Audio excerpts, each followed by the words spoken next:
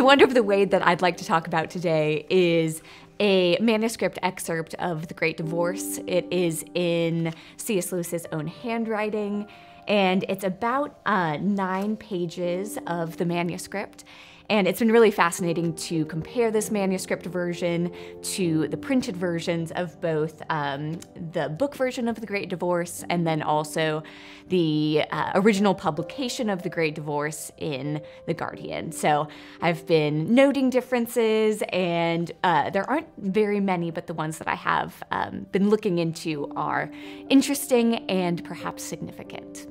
I am currently in the process of working on a project on the Great Divorce um, and Tolkien's short story Leaf by Niggle, looking at medical imagery in um, both works and looking at how both authors use the idea of Christ as um, a physician or Christ as a surgeon in order to convey the process of uh, sanctification and purification.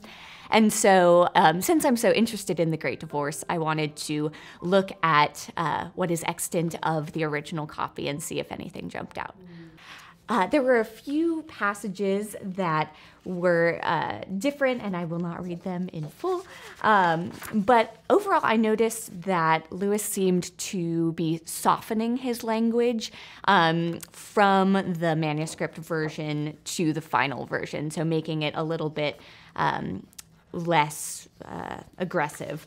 And so, one key difference that I noticed, and this was the mo- the biggest difference that I saw, was in the interaction between a ghost named Pam and a spirit, uh, and they're talking about the death of Pam's son.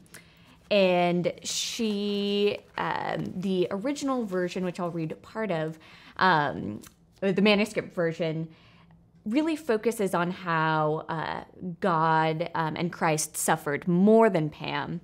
And so one line was, uh, he, uh, he, Christ, suffered for you more than you suffered for Michael. Uh, and you are his daughter, even his unborn daughter. He is given you, giving you the chance to be born. Uh, no, listen, he also loves, he also waited a long time.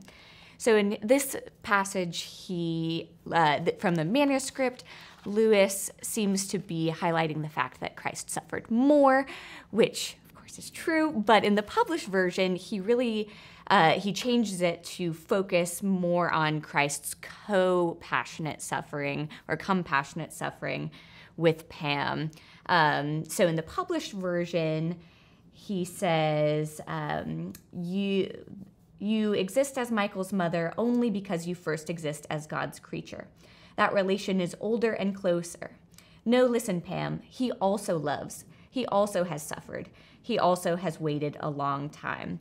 And that parallelism, uh, as, I, as I'm reading it, really heightens the closeness between Christ and Pam rather than focusing on the separation between Christ's suffering and Pam's suffering. It really shows how Christ suffers with her.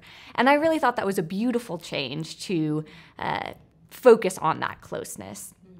And so that was one that I found really interesting, um, particularly for my paper that I'm working on. Explain it. Uh, which focuses on Christ as how Lewis depicts Christ as a surgeon, or the ghosts as surgeons, and the process of purification as a uh, surgery, which is painful but curative. And in the in the um, tradition and history of using the idea of Christ as surgeon, uh, a lot of scholars think of or depict Christ also as a surgical patient on the cross, and then that becomes him as the wounded surgeon uh, with the resurrection, um, who comes back and heals, even if the process is painful. And throughout the Great Divorce, Lewis focuses on how the ghosts who undergo a procedure will need to be will need to undergo pain. Uh, and in the instance with the red man, or the man and the red lizard, he uh, the man undergoes a huge, huge amount of pain, um, but it is that very pain, um, the operation as it's called, using medical language, that is what is transformative. And so um, that is why I think that is significant. And then thinking about Christ also suffering with um, with Pam as a patient and then a healer, I think that's really significant.